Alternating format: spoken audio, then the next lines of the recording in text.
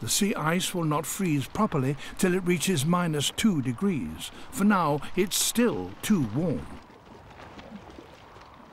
This ice is no use to the bears. They can't walk on it to hunt.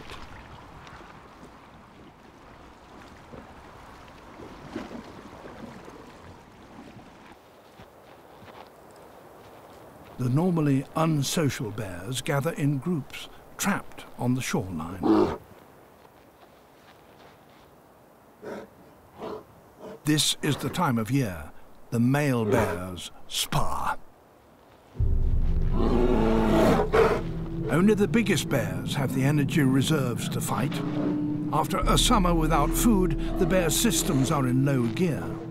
These aerobics help warm them up in readiness for the winter hunting ahead.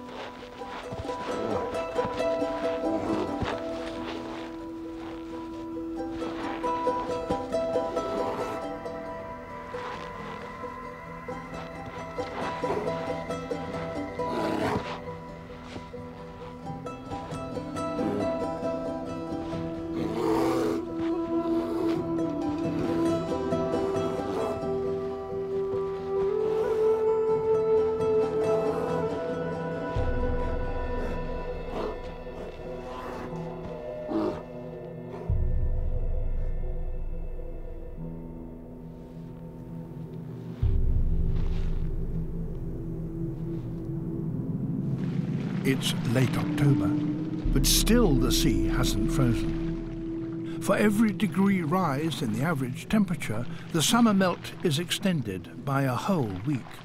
That's more bad news for polar bears.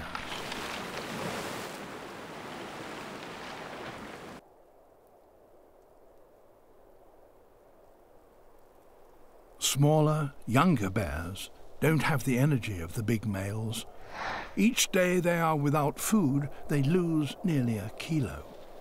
Some have lost half of their body weight. These hungry bears must now rest in the snow and conserve energy. All they can do is wait.